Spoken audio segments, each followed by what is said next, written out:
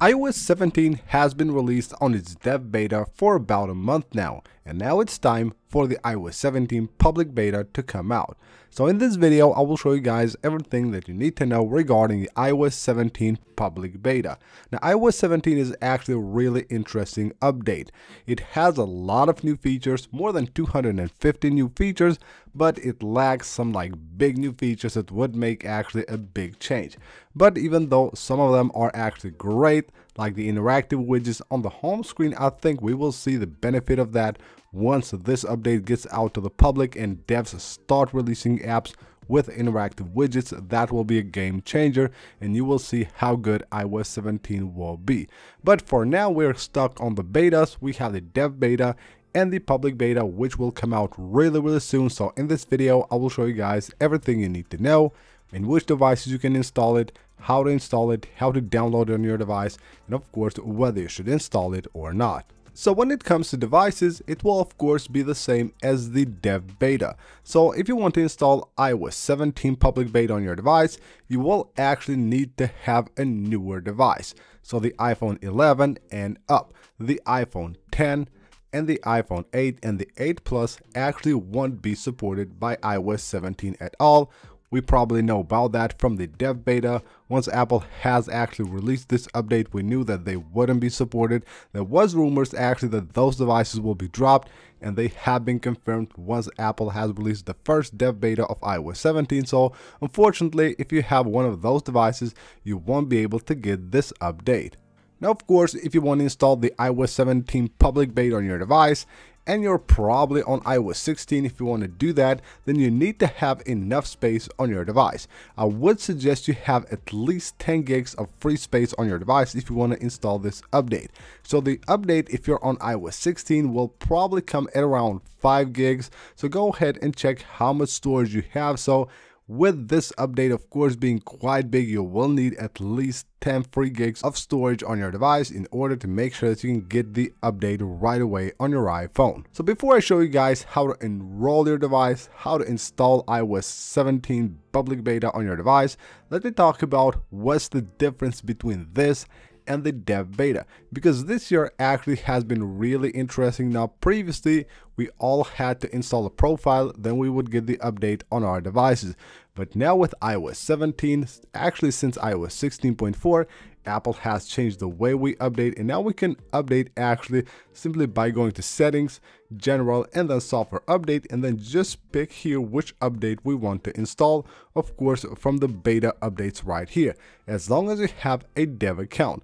Now, first of all, initially we thought this would be just for paid dev accounts, which actually cost $100 per year.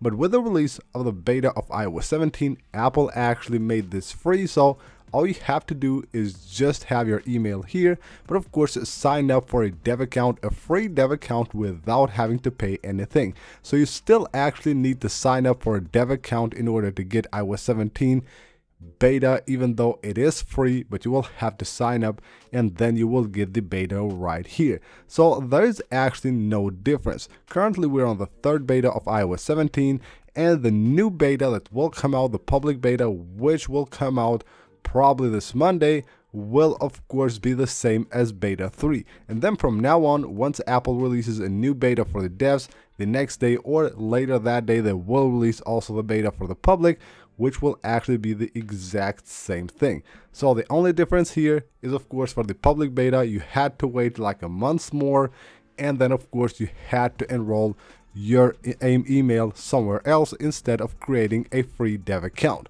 so to enroll it, you will actually need to go to your Safari app and then right here you will have this web page which of course I will leave linked right down below in the description of the video. Now right here you can see coming soon, I'm 99.9% sure this will be released on Monday, but right here you can learn more about iOS 17 and this is the sign up button which will let you sign up your email even though currently it still will show you iOS 16 if you do it today if you do it on Monday, it will show you iOS 17, of course, once it gets released on the first public beta. So currently, if you do this for iOS 16, you can sign up. So just sign up here and enter your passcode, the passcode of your device, or Face ID if you have it enabled, it will just open it using Face ID. So once you authenticate your email address here, Apple ID, this is what you will see. So for iOS 17, I'm not pretty sure what they will do, but probably you don't have to and do anything more here. Once you're logged in, you're good to go.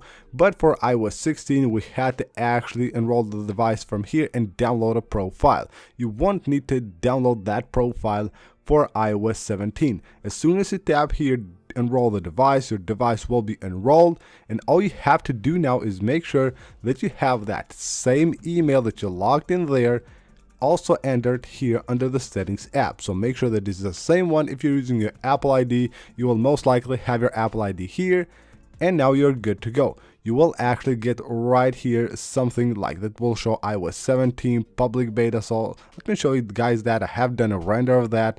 It should show something very similar to this so all you will have to do is select the public beta right there to install it to your device. And that's the way to go. That's the easiest and of course the only way to actually get the public beta on your device. So now that we know how to get iOS 17 public beta on our devices the question remains should we update or not to iOS 17 public beta? Well, let's take a look at the current state of iOS 17. So as far as performance go, I would say this is okay to install on pretty much every device. But if you have like a device that's maybe kind of slow, it has a bad battery health, I wouldn't suggest you do that. If you have an OK device, one of the newer devices, go ahead and install it once it gets out on the public beta. There's a reason why Apple will release a public beta. Of course, they're pretty confident that this update is good enough to actually be on the public's hand that's why they release it and in my experience actually performance has been quite good so here with beta 3 this is the performance we got with geekbench and of course we have to talk about battery as well because if you're trying to install a beta on your device and you have only one device, the daily driver, then the battery will have a big impact. But currently, we're not doing that bad with iOS 17. We'll still have to wait a few more days to see how this new beta will perform but we can see here for what we have been able to do with 60% maybe like 60 62% we got 5 hours and 54 minutes almost 6 minutes on the 6 hours on the screen which is actually not that bad. So taking a look here, you can see we're at 92% battery here. So it's okay, not the best battery life ever, but it's okay. But just to do like a conclusion, I think you're okay to update to iOS 17 public beta, especially if you're not installing it on your main device and just go ahead and install it.